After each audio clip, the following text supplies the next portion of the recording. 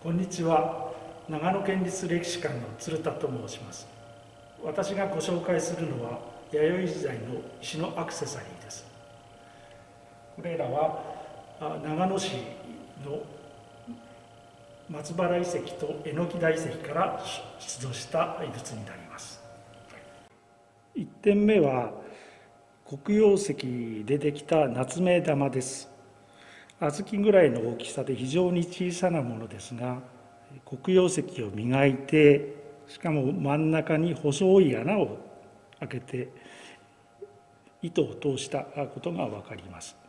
このように黒曜石を磨いて作ったアクセサリーは非常に弥生時代でも少ないです。弥生時代の黒曜石を磨いたアクセサリーでは東京都の遺跡で勾玉が一点出土しています。その他はあまり知られていません。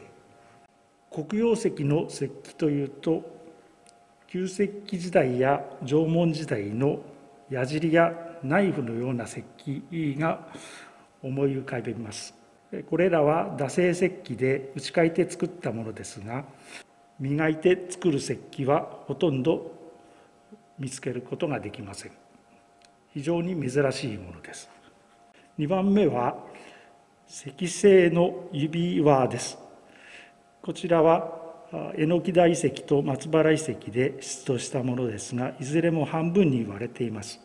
大きさを復元すると今の指輪の大きさで10号から13号ぐらいに復元できます。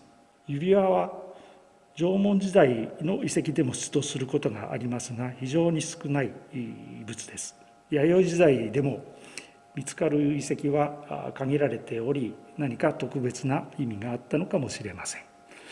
このような指輪をはめた人がどのような人だったのかいろいろ想像してみるのも楽しいかもしれません。